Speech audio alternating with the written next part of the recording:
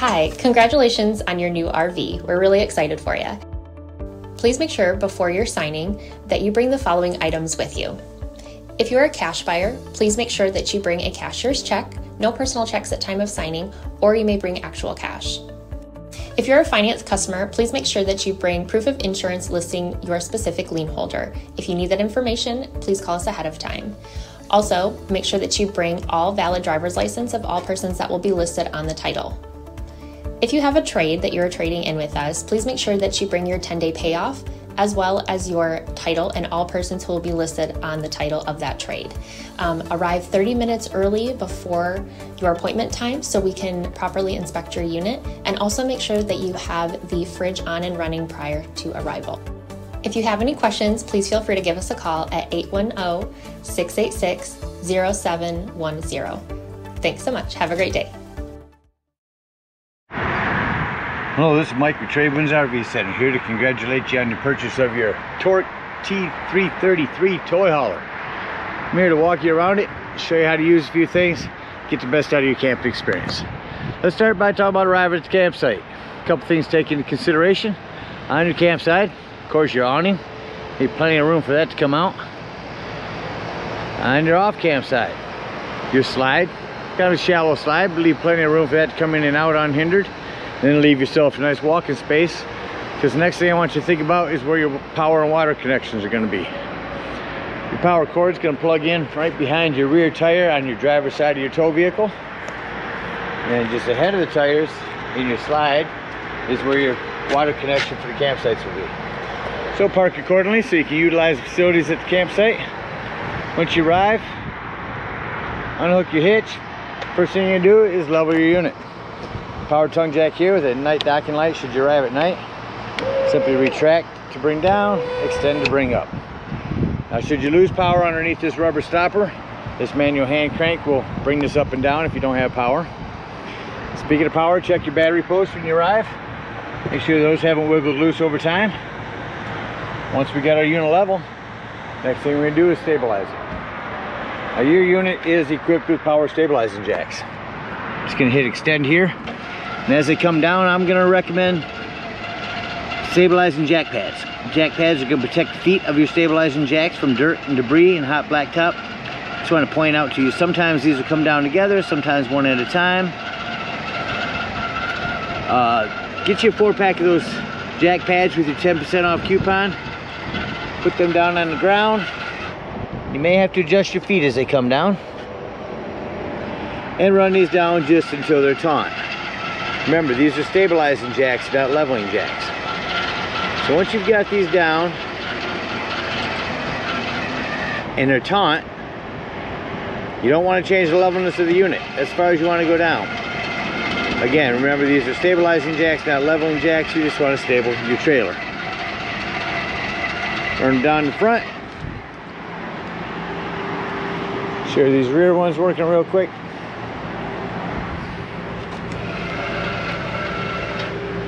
There's the rear. Got all four of them down, got our unit level and stable. We can hook up our power and water. Big long 50 amp cord here. Plugs in the back. Now the way they connect now is they go in at a left angle, turn to your right, and then put your black washer on. That'll lock it on. At the end of that 50 amp service, you'll have a dog bone in your convenience pack to go from 50 down to 30. And if you need to plug in at home, you can go from 30 down to 110 with this adapter. Just run appliances accordingly when running off 110. You don't want to pop a bunch of breakers. Got our power hooked up. I took up our water. City water connection is where we'll hook up at the campsites. First and foremost, your water pressure regulator. This water pressure regulator is going to reduce the water pressure to 40 to 50 psi, protecting the lines in the unit. Use this when putting fluid in here. Hook that up, hook your hose up. Don't turn our hose on yet. Let's open up our hot water heater. Now this will lift right off here. All we're doing at this point, make sure our drain plug's back in there. Get some plumber's tape on there. Get it in there nice and snug. Then you can go ahead and turn on your hose. After your hose been on for a little while, go ahead, go inside, deploy the slide if you need to, for level and stable. And then to open up your water taps. After all your water taps are open and you got a nice steady flow of water going through them, shut them off, and then you can turn on your hot water heater from indoors. There is an on-off electric element right here. Only time you ever want to turn this on out here is if you're hooked up to 110. Otherwise, leave it just sit and turn it on indoors. There's also a reset. Hot water heater doesn't seem to be working. Look to see if these are bubbled out. If they are, simply press them back in and then your pressure release valve. Now let's say we're gonna go camping and we're not gonna use city water. We're gonna go boondocking. Let's find your fresh water tank. Over here on your campsite, just left of your entry doorway is your potable water or freshwater tank. No need for a water pressure regulator here. Simply fill it up with a hose. Two ways to tell it's full. One, there's an overflow valve right here. Or two on the inside where you check your battery and black and gray tanks. There's also a freshwater tank button. Once that's full, close that off. And when you want to utilize this water, turn on your water pump. Just remember, don't turn on your water pump when using city water. That's already pressurized. All right, we're all set up with power and water, ready to camp. I'm gonna go ahead and walk you around the unit, starting here on your campsite. Big storage area here. You have some lighting and a battery disconnect. This will disconnect all the battery power to the unit. That'll come in important later when I talk about your carbon monoxide propane detector. So hose that'll hook up to a spray port. Manual override for the slide crank. Power stabilizing jack. Your big awning. You have a porch light. That's a flue for your furnace. If you're running your furnace, steer clear of this and make sure uh, nothing's in front of it. It does get hot. Again, your potable water. Your black tank flush. We'll talk about that when leaving the campsite. Cable. Cable and 110 out here. And an LCD bracket mount. So you can go ahead and hook the TV up out here. Separate entryway into, entryway into the garage. I'll show you underneath on this side. You have a couple of low point drains. There's your freshwater drain. And then below your fresh water is gonna be your city or campsite water drains.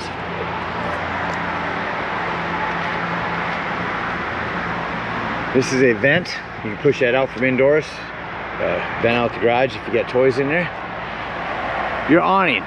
It's not all the way out yet, but if it is, you pick the cables down that end, starts to rain, pitch adjust. Pull down on that and that will send your rainwater down to this end. around the back of the unit. We'll open the garage up here in a little bit. You are prepped for a Furrion backup camera up there as well. On this side, just remove these cotter pins. This ladder will come out. Utilize it. Go up there a couple times a year. Check the uh, seams on your roof and caulk as needed. It's your fueling station here. Up here is where you hook up your cable to satellite and again your power. These on the side of your slide actually help your wipers flip flip in and out. Access to the back of your fridge.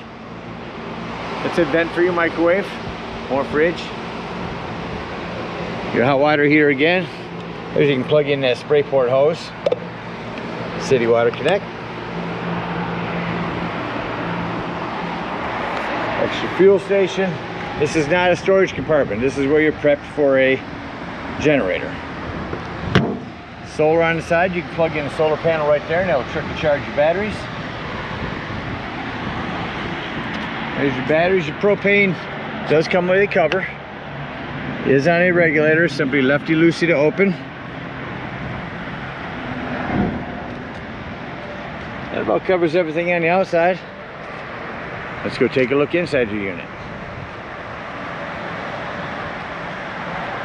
So the first thing I like to point out when coming in any unit is the fire extinguisher. Make sure that you and everyone that's camping with you knows that the fire extinguisher is located at the entry doorway in case of an emergency. Coming to your right as you come in, just above your sofa, back here in the corner, is going to be your control panel. So here's what I said you can check your battery, brand new battery, fresh tank, black and gray tank. Here's where you turn on your water pump if using potable water, your water heater if using gas, your cabin lights, auxiliary lights for outdoors, your porch light and awning light. Down here is your slide control and your awning. I'll show you real quick on your awning. You're only gonna wanna run that out until you get this flap to fall down to 90 degrees. Sometimes when they're moist, it takes a second to get that flap to fall down. There it goes, start to fall, there it goes. May have to run that in and out a couple times. So you only want to run that out until that you can see that black bar and your white flap is down to 90 degrees. That will extend past that. So keep an eye on it as you're running it out. I'm actually going to run it back in here. It's a little windy out today.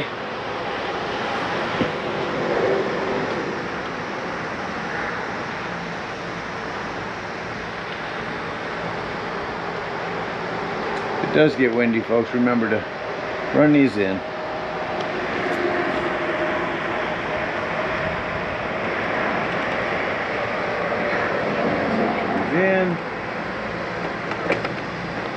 The awning light. Got the porch lights, auxiliary lights. Right above that. Sound system here. Go through the different modes. Find F Bluetooth FM. And where possible, use Shut the timers. sound off indoors, front bedroom, and out back. Outdoors. to learn more. Nice system. Your recliners. Simply parachute pull. Go up on the handle, that'll recline those. Up here is your remotes. One for your sound system, the other for your television. As I turn that on, continue walking through the living room here. This sets down pretty easy. Just unstrap that. Make sure you set your feet down as you're bringing it down. There's your television working. That back off. Remote some more paperwork here. Island here, you got 110s down beside here. You've got your 12 volt carbon monoxide propane detector. The reason I mention this 12 volt, it's always running off your battery. So if you are out boondocking, you don't have nothing plugged in charging your battery, use that battery disconnect if you're going to be gone for the day to keep this from running your battery down while you're gone. Underneath your eating area, back here is going to be an access panel to your breaker box and fuses. Vent for your furnace. 110 there. And over here on the wall is your thermostat. Let's go ahead and crank the air up real quick.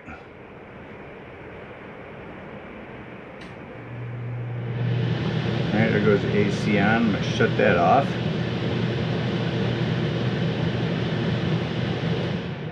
AC shuts off rather quickly. Most units, the furnace takes a couple minutes longer to shut off. The fan does. Turn the furnace on. There that goes. I'm to shut the furnace off and you'll notice that it does take a few more minutes to shut off than the AC ones. Self-explanatory microwave up here. You have a light and a fan. The glass top makes an excellent backsplash. That light back on. You got a panel light. Turn this to light. It'll turn from blue to red. Hit your spark, and there's your flame. Same thing on the oven. Turn this to light. Hit your spark. No need for a pilot light anymore. Once it's lit, go ahead and turn it to the desired temperature. Your panel light, if you point it down, becomes an oven light. Your Dometic fridge. Let's open that up to the inside and turn it on.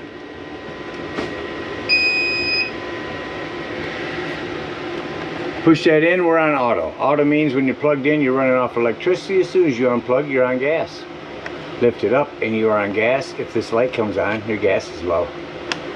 Pretty easy. Turning and going into your bedroom, bathroom real quick. I'm turn our lights on. You have vent to open. And then turn on your fan. Put your fan off, close your vent. I mentioned this is where your 110, the GFCI resets at, and some plumbing to maintain. Back behind this access panel is your plumbing. See it's all PEX now. Keep an eye on that as you're traveling. Before going back into your garage, we're going to head up into the bedroom. Couple things in here. You do put a generator in. There's where your uh, generator will start. You can start it from the bedroom here. Individual lighting there. You have a light switch for your top lights. You have a hand crank open exhaust vent up there. And you're also prepped for a TV back here. This lighting here will give you an accent light up top. And then your individual lighting here. When you travel, I want to make sure that your doors are secure. And let's head back to the garage. As we do, you got, got the big carpet there that you can roll out. And you also have a table that you can set up in between your seats here. On the wall here is your own thermostat for back here.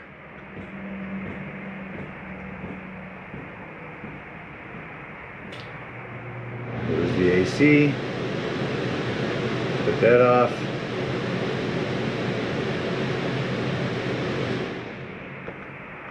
Now your furnace.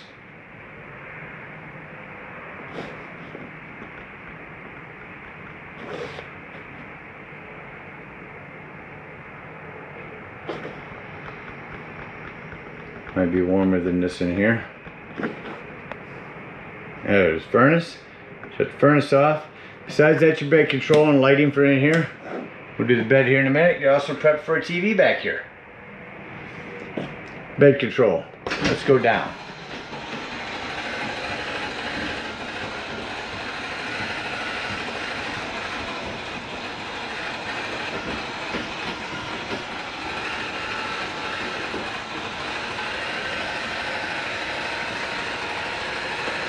I'm not going to bring you down all the way. Save some time. I'll show you a couple of things here. So as you get this down, you want to make sure that you pull back on this in order to roll this forward. That's all you do. Now if you do want to use this as a bed, make sure you lower this bar. And just flip it up this way on both of these so you have some extra support. So we've got the cotter pin system on this one. See your cotter pin right there. I'm to bring our bed up. Once it's up, remove these cotter pins. That's to go ahead and release this top bunk. You'll have one in each corner. Same thing over here. Just once this bed's up, pull your cotter pins. Let's run that back up. Table is set up in between. You see all your tie downs. Also have an extra fire extinguisher back here. And lots of storage.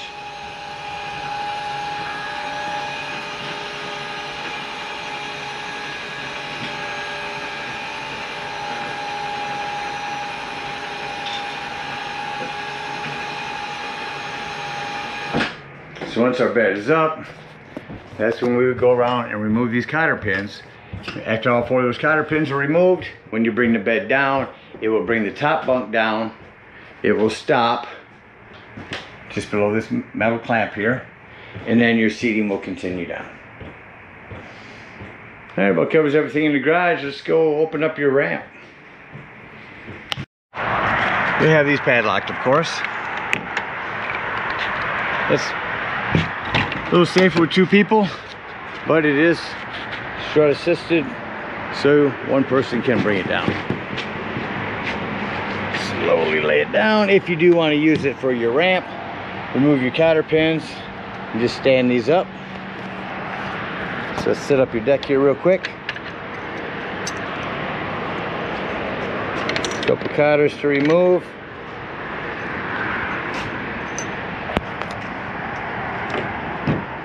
stand up. This will swing out. Same thing over on this side. Remove your cotters.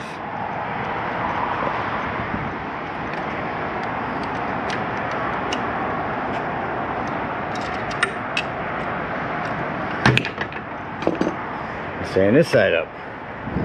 Once it's up, put our cotters back in.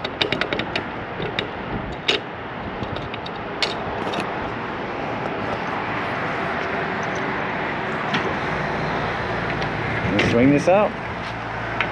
Again, put our top cotter pins back in to hold this top. And there is your ramp. Deck. You also have a screen door that you can bring down. Reverse the process to put all this back.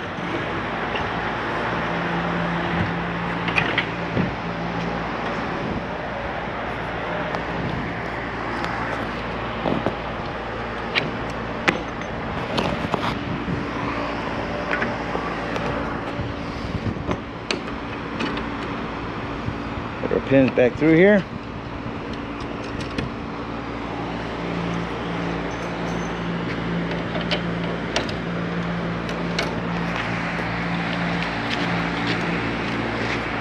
and close everything back up. Now the biggest thing with closing these, easier is a two-person job. You just want to watch these cables as they go in so they don't get caught in the door.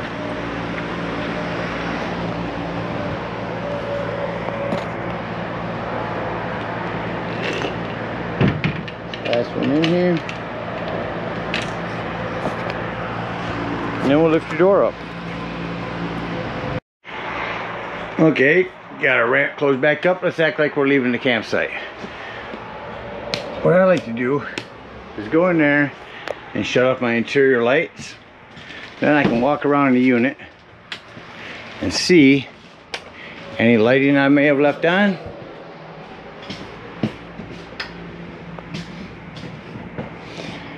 Until our lighting's off, doors and drawers. Make sure that all doors and drawers are secure. Remember to make sure you have this one snapped back. TV on a swivel, make sure it's pushed back up against the wall and strapped in. Then we're gonna come over here.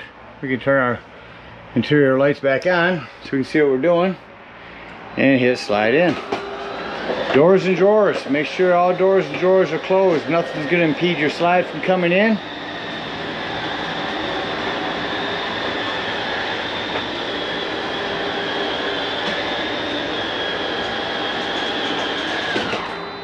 Once our slides in, shut off our cabin lights, exit the unit.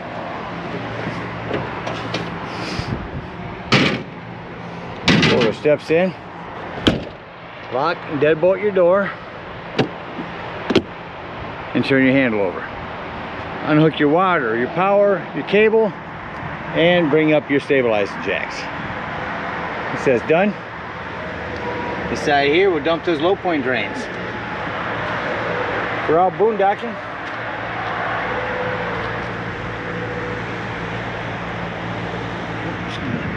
Pass this right here. We'll dump those low point drain. Then lastly, we'll come around to your hot water heater.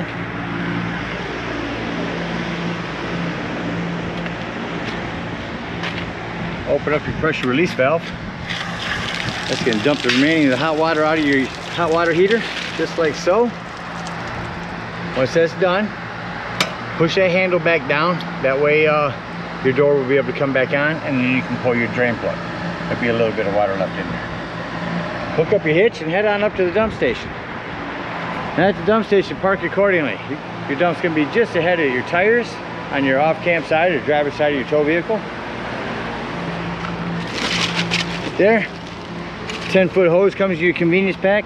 Hook that up and the first thing we're gonna pull is that black handle. Now if you pull that black handle and it sounds like it's no longer draining,